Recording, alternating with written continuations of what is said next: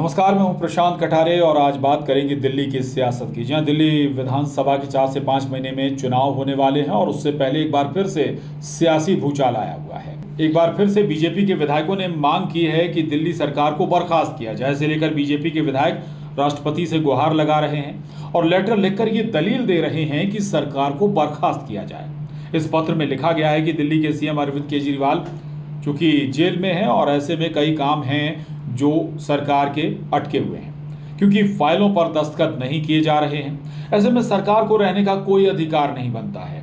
लिहाजा राष्ट्रपति को दिल्ली सरकार को बर्खास्त कर देना चाहिए, ये बीजेपी विधायकों की मांग है।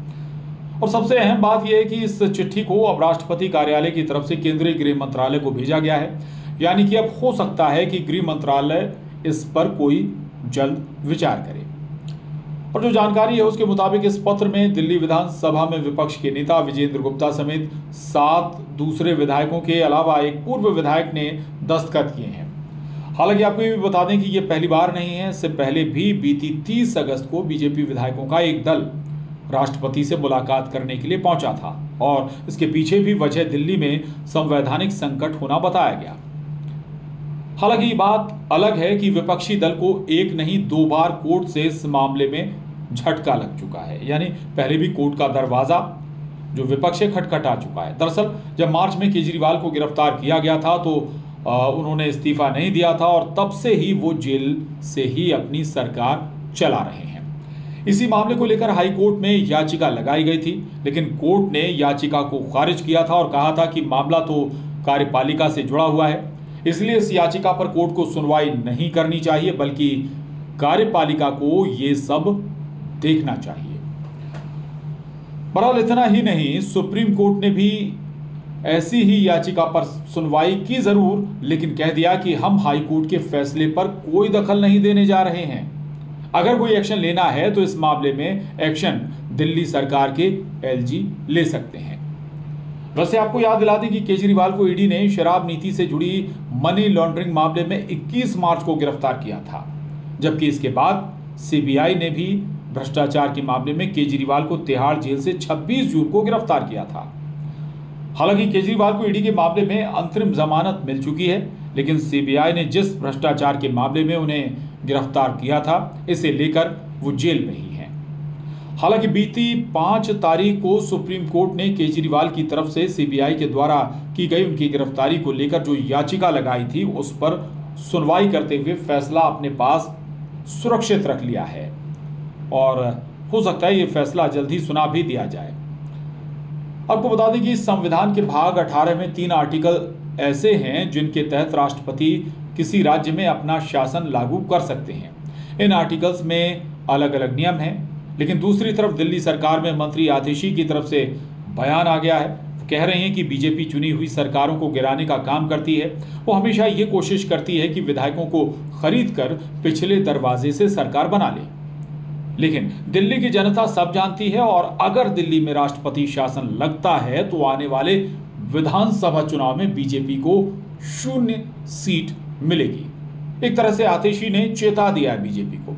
बहरहाल सबसे बड़ी बात यह है कि एक तरफ़ तो अरविंद केजरीवाल मुख्यमंत्री पद से इस्तीफा नहीं देने पर अड़े हुए हैं, वहीं दूसरी तरफ़ बीजेपी पूरी कोशिश में है कि सरकार को वहाँ बर्खास्त कर दिया जाए। लेकिन आपको बता दें कि दिल्ली में आने वाले चार से पाँच महीनों में विधानसभा के चुनाव होने वाले हैं। दरअसल, अगले साल फरवरी के महीने में दिल्ली सरकार का कार्यकाल पूरा होने जा रहा है। लेकिन इससे पहले अगर दिल्ली सरकार को बर्खास्त कर राष्ट्रपति शासन लागू किया जाता है तो ऐसा दूसरी बार होगा जब दिल्ली में राष्ट्रपति शासन लगेगा। क्योंकि दिल्ली में पहली बार राष्ट्रपति शासन 15 फरवरी 2014 को लगा था। तब अरविंद केजरीवाल ने पहली बार मुख्यमंत्री बनने के उनचास दिन बाद इस्तीफा दे दिया था और तब दिल्ली में कांग्रेस के समर्थन से सरकार बनी थी। लेकिन अब इसके थोड़े से पहलू समझ लीजिए, बीजेपी जो मांग कर रही है दिल्ली सरकार को बर्खास्त करने की, वाकई अगर बीजेपी की जो मांग है वो मान ली जाती है और सरकार बर्खास्त कर दी जाती है, राष्ट्रपति शासन दिल्ली में लागू कर दिया जाता है तो इसका एक जो दूसरा पहलू है, इसका फ़ायदा दरअसल हो सकता है कि आम आदमी पार्टी को मिल जाए। आम आदमी पार्टी अपने आप को शहीद बताए। ये बताए, जनता में एक परसेप्शन बनाए कि कैसे जानबूझकर सरकार गिरा दी गई आम आदमी पार्टी की।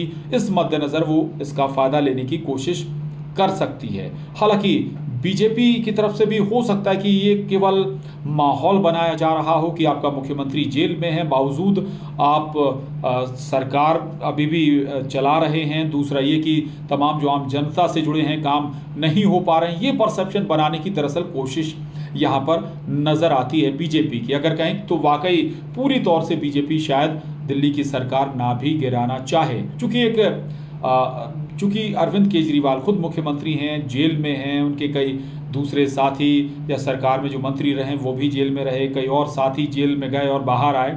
इस लिहाज से धीरे धीरे अगर कहें तो छवि पर कुछ डेंट तो लगा है आम आदमी पार्टी के। और बीजेपी की कोशिश भी है कि ये धीरे धीरे कर डेंट बढ़ाए जाए ना कि ये मौका दे दिया जाए आम आदमी पार्टी को, को वो खुद को शहीद घोषित कर दे या ये जनता में परसेप्शन बना दे कि जानबूझकर बीजेपी ने या केंद्र ने उसकी सरकार गिरा दी। तो इसके तमाम तरह के नफ़े नुकसान हैं। बीजेपी उन तमाम जो प्रॉफिट और लॉस को समझ रही होगी, राजनीतिक नफ़े नुकसान को ज़रूर तोल रही होगी कि चूँकि बीजेपी को भी अब दिल्ली विधानसभा चुनाव में जाना है। अच्छा खासा बीजेपी को वोट हमेशा हर विधानसभा चुनाव में मिलता रहा है, लेकिन सरकार से, कई दशकों से बीजेपी दूर है दिल्ली में। और अब इस दूरी को कम से कम बीजेपी ज़रूर पाटना चाहेगी। इसलिए कदम ज़रूर जो भी बीजेपी रखेगी फूक फूक कर रखेगी।